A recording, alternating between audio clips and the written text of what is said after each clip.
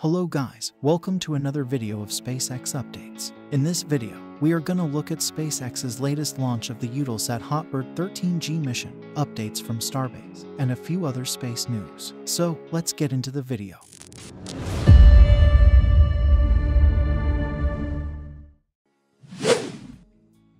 Earlier today, a little over an hour after midnight, SpaceX launched its 51st mission of the year. Three, two, one, ignition, and liftoff of Eutelsat Hotbird 13. This was only the second mission of a total of possible 11 launches this month for SpaceX. A Falcon 9 rocket carrying the Eutelsat Hotbird 13G satellite lifted off from the Space Launch Complex 40 at Cape Canaveral Space Force Station in Florida at 1:22 a.m. Eastern Time. The first stage booster supporting this mission, Booster B1067, launched and landed for the seventh time. Landing leg deploy.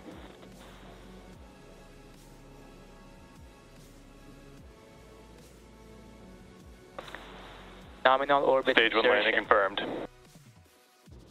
Payload separation confirmed. After 36 minutes into the flight, Hotbird 13G satellite was successfully deployed into a geosynchronous transfer orbit. Last month, SpaceX also launched its twin sister satellite, Hotbird 13F, from the same launch pad. For the second time in a row, SpaceX conducted a cryogenic test on Starship S-25 yesterday. Crews continue to prepare the orbital launch mount for the upcoming wet dress rehearsal and static fire of Booster 7. More Raptor engines arrived at the SpaceX production site at Starbase, Boca Chica. A few days ago, NASA revealed that SpaceX is now capable of making one Raptor engine per day. We are going to need thousands of Raptors if humans were to become a multi planet species. Rocket Lab will launch its ninth mission of this year, tomorrow. The Catch Me If You Can mission is scheduled to launch from Launch Complex 1, Pad B at Mahia Island in New Zealand. For a second time, Rocket Lab will attempt to recover the first stage booster. Unlike SpaceX's autonomous landing Falcon 9 rockets, Rocket Lab will use a helicopter to catch the booster in midair. The first attempt to catch and recover the booster back in May didn't end up with success. So, tomorrow will be a good day for rocket watchers.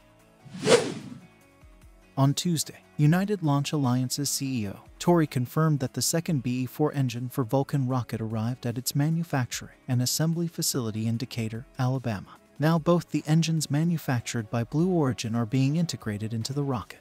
The United Launch Alliance is targeting early next year for the launch of the maiden flight of its new Vulcan Centaur rocket with customer payloads from Amazon and Astrobotic Technology. NASA is planning to roll the SLS rocket, an Orion spacecraft to launch Pad 39B at Kennedy Space Center tomorrow Friday at 12:01 a.m., ahead of its third launch attempt on November 14. NASA will hold a press teleconference later this afternoon, briefing the media about the status of the Artemis 1 mission. Will the third time be the charm for NASA and the SLS rocket? Not that long to find out. Thank you for watching. See you in the next video with more space updates.